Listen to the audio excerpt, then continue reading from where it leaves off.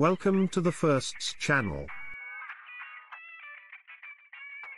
In this episode, we will witness the invention of the first music player and the development of music players over time. Imagine a world silent of recorded sound, where music and voices could only be experienced live. This was our reality until one man's curiosity birthed the first echoes of audio technology.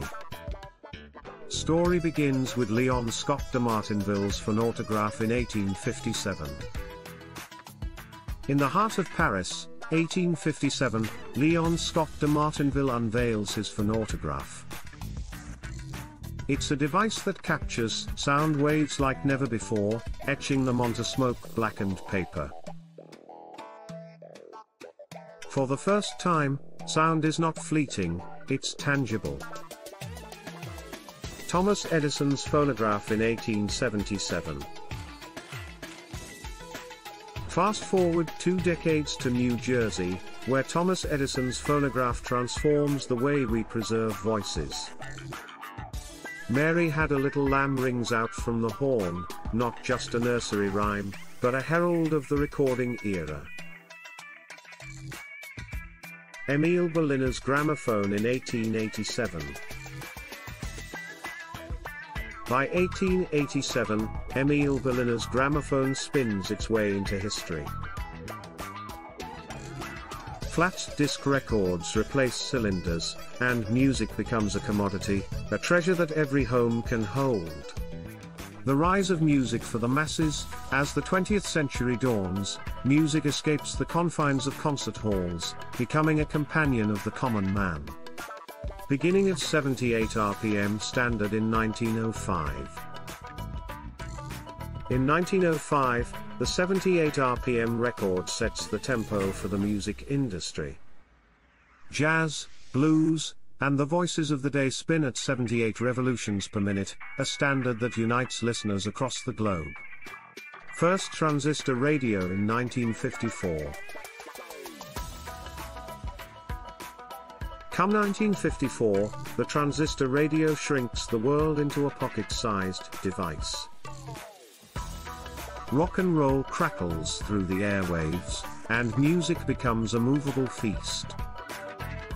The digital revolution, the latter half of the century marks a digital dawn, where music is not just heard but held, shared, and shaped by the listener. Audio cassette in 1963. With the audio cassette in 1963, mixtapes become love letters, personal playlists that speak volumes. The tape, Deck in Cars turns every journey into a personal concert. Release of the 8-track tape in 1965. Two years later, the 8-track tape carves its niche, offering uninterrupted albums for the open road. Music is now a constant companion, an endless loop of favorites. The Walkman in 1979. The Walkman arrives in 1979, and personal listening is redefined. It's not just a device, it's a declaration of independence, a way to own your sound, your space, your pace. The first compact disc in 1983. 1983 heralds the compact disc, a digital marvel that promises perfect sound forever. CDs spin a new era of clarity, and the hiss and pop of analog become a memory. First MP3 player in 1998.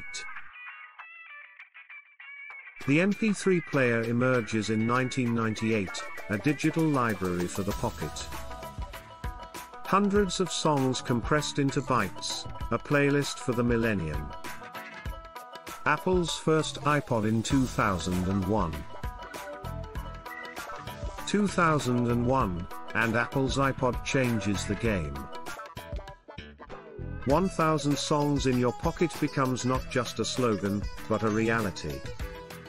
Music is now a touch away, a scroll away, a play away. iPod Touch in 2007. The iPod Touch in 2007 blurs the lines between music, video, and the internet. It's a portal to a world where soundtracks are limitless, and the screen is the stage. As we journey through the evolution of audio technology, we see a reflection of ourselves, innovators, dreamers, creators. From the phonautograph to the iPod Touch, we've danced to the rhythm of progress, and the beat, the beat goes on.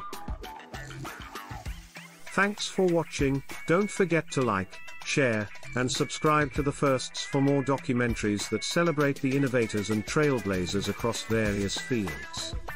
Comment below with your favorite music player and why it holds a special place in your heart.